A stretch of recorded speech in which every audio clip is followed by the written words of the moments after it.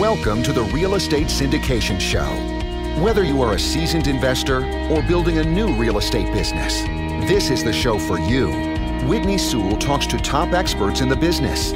Our goal is to help you master real estate syndication. And now, your host, Whitney Sewell. This is your daily real estate syndication show. I'm your host, Whitney Sewell. Today, our guest is Kim Lisa Taylor. Thanks for being on the show, Kim. Hey, thanks a lot for the invitation, Whitney. I've met Kim at numerous numerous conferences now, and uh, obviously, you know, I knew that I had to have her on the show as a guest, and I've heard her on many other podcasts, and she provides tons of great content that I know our, our listeners will will gain lots of value from. So, uh, Kim uh, is a founder of Syndication Attorneys PLLC, nationally recognized corporate securities attorney licensed in California and Florida. She has been the responsible attorney for over 300 real estate security securities offerings with raise amounts ranging from 500,000 to 100 million. Kim, you know, give us a little more about your background in real estate and, and what you're up to right now. Well, you know, I started out uh, a long time ago as a real estate litigator. I actually used to practice homeowner association law and uh, decided uh, early in that career that I did not, I didn't have the, uh, I guess I didn't have the right personality to be a litigator. You know, you got to really like, like to argue and fight with people, and it just wasn't in my nature. So I started looking for something that I could do that that still had a real estate component because I really loved real estate. My husband was a real estate investor, and uh, we had uh, been in some real estate training classes on how to buy multifamily ourselves, and we actually went out and did that. So we, you know, I just kind of uh, fell into uh, uh, went to a syndication event and learned how to how to do it myself and then thought gee you know i really like this area of the law and uh, started pursuing that and i've been doing it ever since. Nice nice. So so what is your focus right now? Um, so i'm building a law practice. I started this law practice uh, solo practice. I was in a partnership before with some other partners but uh, started this practice syndication attorneys uh, the Florida company in uh, April of 2016, and my goal is to build and grow this firm and uh, make it the premier real estate syndication provider in the country. Nice. Nice. So we'll get into some other things that Kim and uh, her office are doing that are very exciting, and uh, towards the end of the show. But uh, Kim, you know, obviously a lot of our guests are are uh, in, just getting into the syndication business, and you know they're going to be asking, uh, you know, you know they're going to be fearful, right, of, of making a mistake, you know, getting into this business and doing that first syndication. You know, could you kind of lay out a few of the first things that, that big biggest mistakes or that are very common that that people usually miss?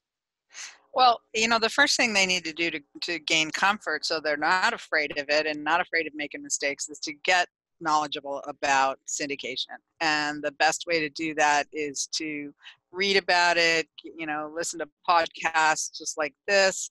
Um, you know, there's a lot of information on our website that they can uh, look at for free.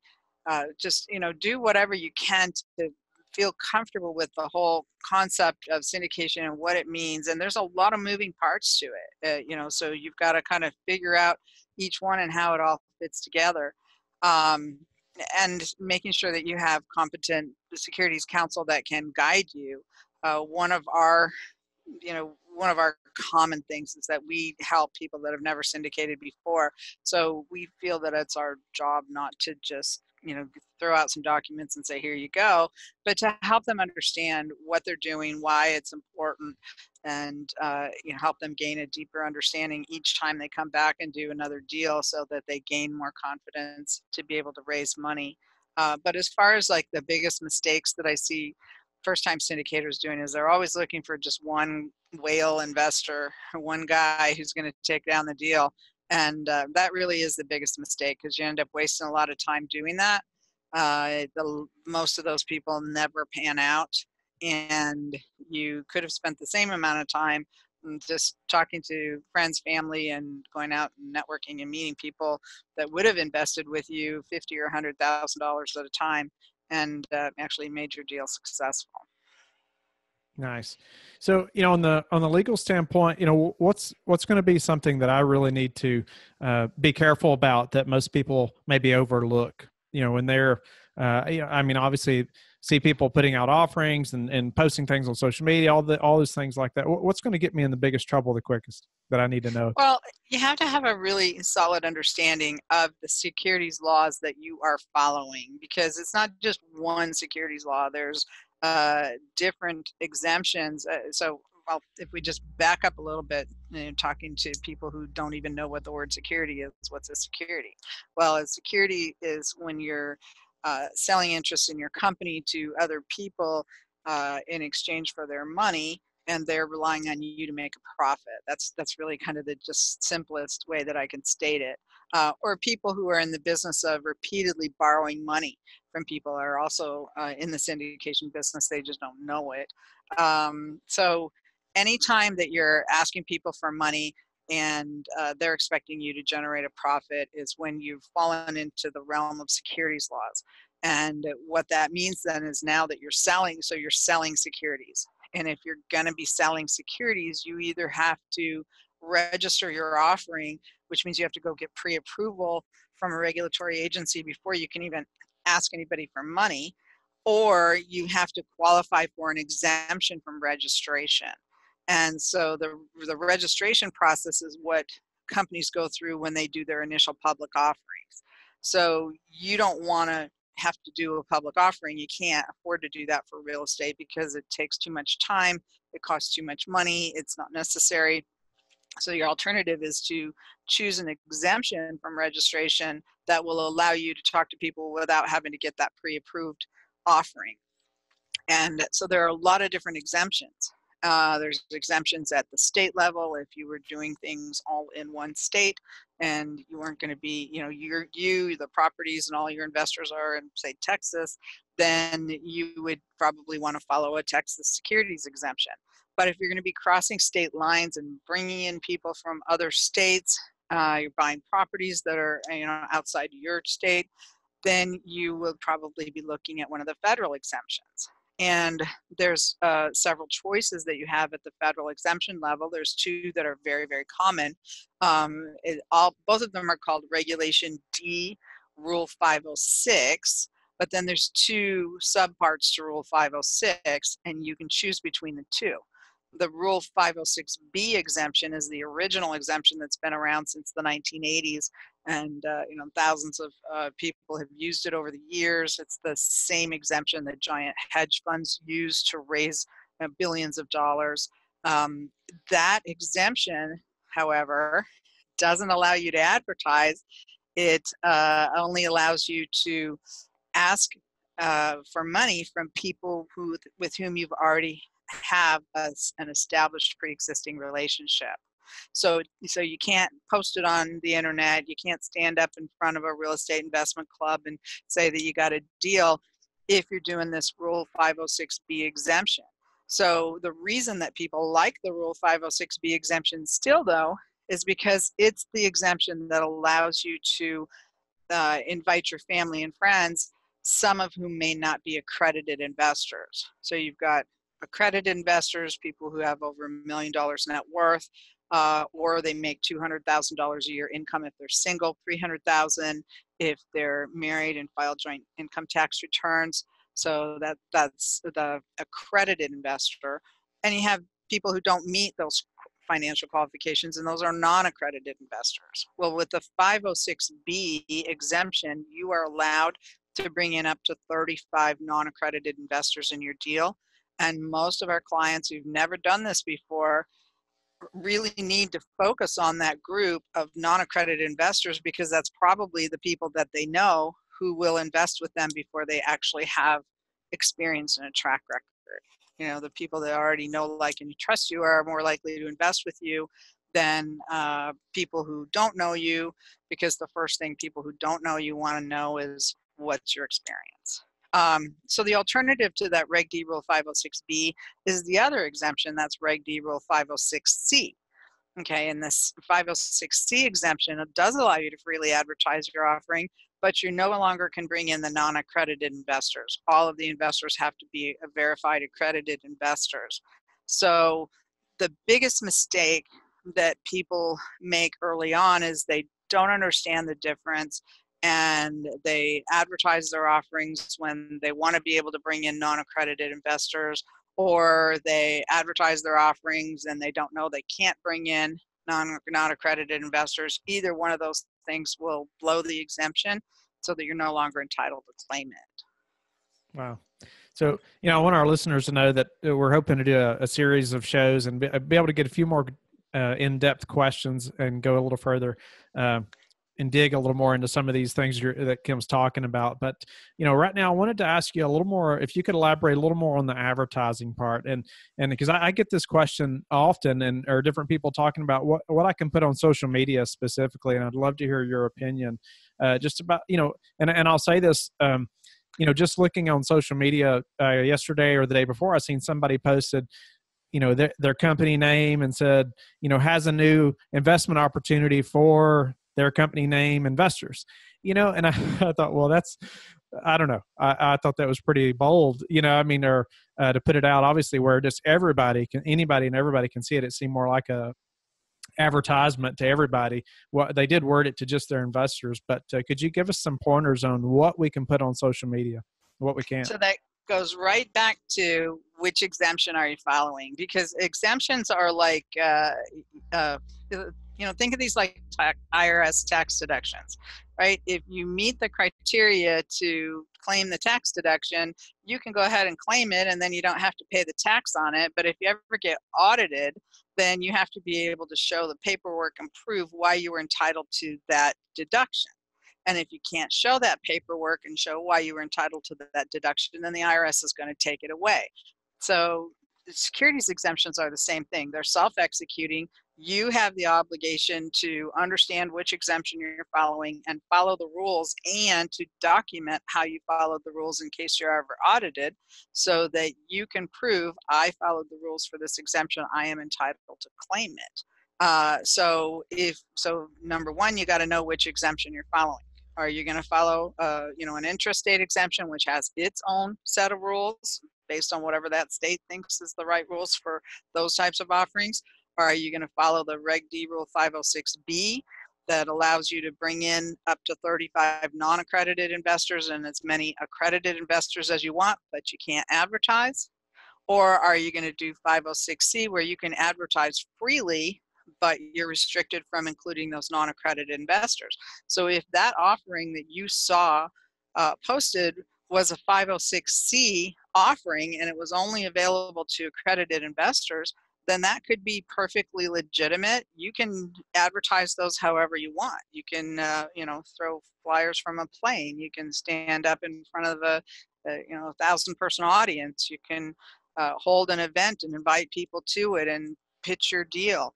You can do all those things if you do 506c, but you cannot allow any non-accredited investors to invest if you're doing 506b offerings, that type of an of a um, an advertisement would be completely inappropriate because you can only it, you know the 506b is word of mouth. You know this is the, the this is the friends and family exemption. This is the one that allows you to talk to people that you know but you shouldn't be email blasting. You should be calling people. You know you should be talking about it one on one to your friends, to your family, your coworkers, to people that you already know, and people that already know you. No, I appreciate you explaining that. And I, I, guess the most common one that I see too, uh, you know, that everybody posts is like, we just closed on this on this deal or we just closed on whatever and and uh, you know i struggle with that a little bit because you know i feel like your investors are already going to know you're closed so you know you've closed on this deal how, how, do you how do you look at something like that? Well it's the sec that uh, views that kind of an ad they call that a tombstone ad. And so they view that as the first step in making an offer. So again if you're doing rule 506c offerings then that's okay. Nobody, you know, you, you can advertise that way. But if you're doing Reg D Rule 506B offerings, the SEC views that as the first step in making an offer. Um, but it's, you know, it's it's not a hard and fast rule, but uh, you know, it's kind of frowned on. You know, so Kim, getting started in this business, what you know, describe the the ideal client and maybe you know when they should contact somebody like yourself and and what that relationship looks like so for people that are just starting out uh, you know i always say the first thing you need to do is figure out what you're buying. You know learn a, a business model. Go to some get some real estate training preferably get a coach. All of my most successful clients have had a coach. The people that have come back and done multiple offerings they have all had a coach in their early years.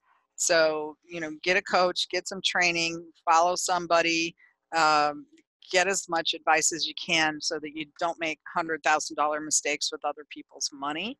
Um, once you've got that training now go get something under contract.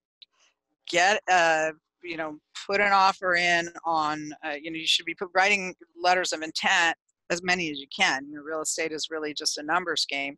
So you might put out 100 letters of intent and you might get 10 back uh, with some interest and maybe two of them get negotiated and one of them closes you know i'm these are just kind of numbers off the top of my head but there's there is definitely um, some it is all in the numbers as to how successful you're going to be. So you got to write a lot of LOIs. You got to get some deals uh, negotiated. So we suggest that people actually engage us at the point that they have a signed purchase and sale agreement. Someone from their team has physically been to the site and they have reviewed the uh, financials for the property because those are the three things that are likely to be deal killers and the rest of your due diligence are things that you can do while we're drafting the offering documents because you want to give yourself as much time as possible to be able to successfully raise the money, especially if it's your first raise. And you don't want to cut that down to where you only got 30 days to do it because then you might not be successful.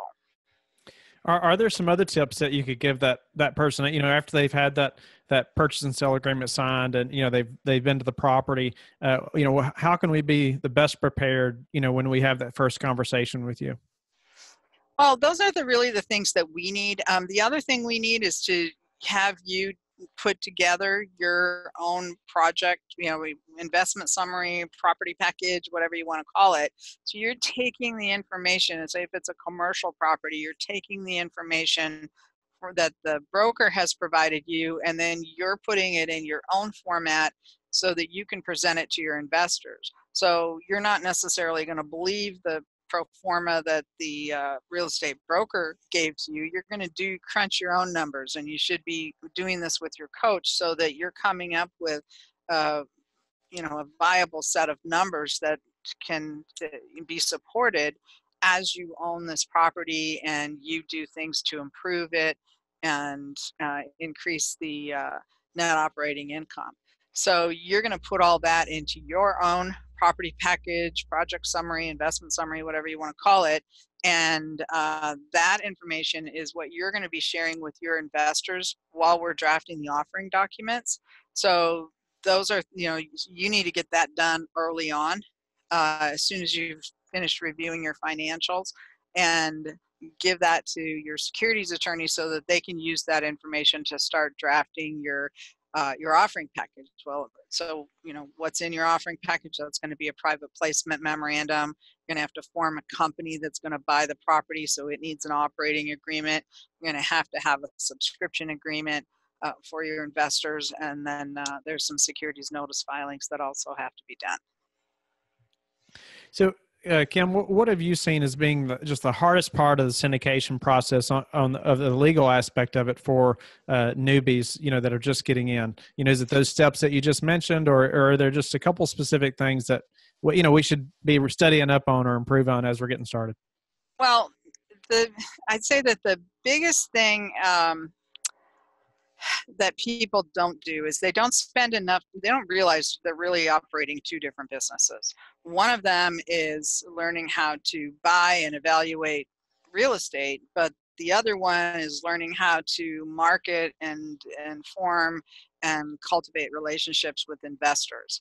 So you really need to have uh, an investor marketing plan that you can begin to execute even before you have deals under contract and uh, so the two of them really kind of have to happen side by side so that when you've got a deal under contract, you have 50 or maybe even 100 people that you've already talked to and you've already kind of vetted and you've developed relationships with them so that now you're free to be able to talk to them about your deal and to invite them to invest with you.